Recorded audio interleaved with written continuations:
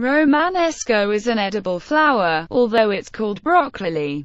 It's really more of a cauliflower. This remarkable vegetable has many other culinary uses. It's great with pasta and in stews and it's tender than ordinary cauliflowers. The vegetable originates in Italy, where it was first identified in the 16th century. Its season is short, and Romanesco flourishes in colder weather, usually being available in March, although too often overlooked. It can be substituted in any dish that calls for broccoli or cauliflower, and with excellent results. It was cultivated in the area of Rome where it was discovered and perfected by Dutch gardeners. Romanesco contains zinc, which helps to fight the loss of the sense of taste of the metallic aftertaste in the mouth.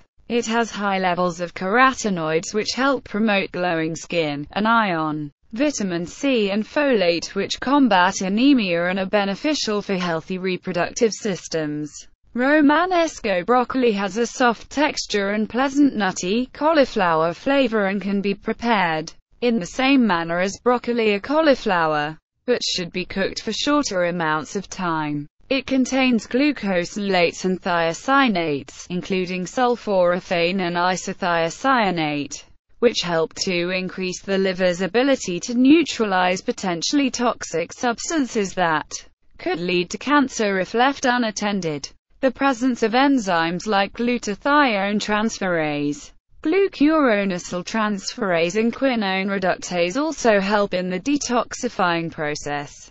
There are dozens of studies linking cauliflower-containing diets to cancer prevention particularly with respect to the following types of cancer, bladder cancer, breast cancer, colon cancer, prostate cancer, and ovarian cancer. Of all the cruciferous vegetables, broccoli stands out as the most concentrated source of vitamin C, plus the flavonoids necessary for vitamin C to recycle effectively. Also concentrated in broccoli are the carotenoids lutein, zeaxanthin, and beta-carotene. Other powerful antioxidants. Broccoli is a good carb and is high in fiber, which aids in digestion, prevents constipation, maintains low blood sugar, and curbs overeating.